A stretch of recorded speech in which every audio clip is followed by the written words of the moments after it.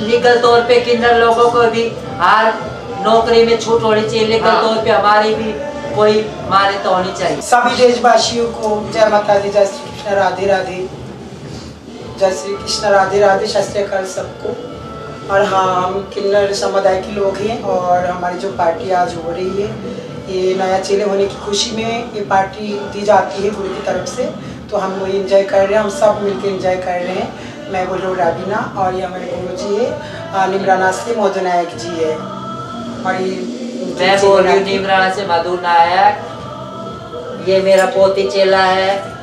ये अब हमारे किन्नर समाज में समुदाय में आज शामिल हुआ है जिसकी खुशी में हम लोग आज रंगारंग कार्यक्रम नाच गाना रहे हैं। देश प्रदेश के किन्नर लोग एकजुट होके नाच गाना किया है और हमने खुशी मनाई है। आज हमारे ग्रुप में ये नया किन्नर शामिल हुआ है। इसका कोमल।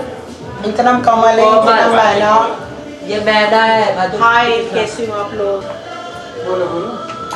गुरु बोलो हेलो हमारी फैमिली में एक नया सदस्य आया है मेरी बेटी कोमल। बधाई हो दिल से बधाई।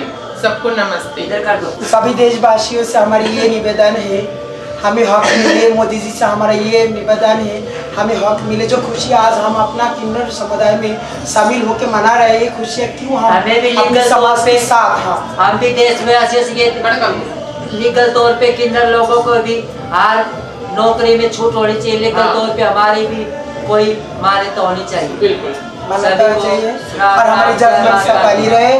हम जजमान का खुशी में अपना खुशियाँ मनाते हैं। अब ये जो किसान आंदोलन हो रहा है इससे पूरे देशवासी परेशान है ये किसान आंदोलन भी खत्म किया जाए। खत्म किया जाए।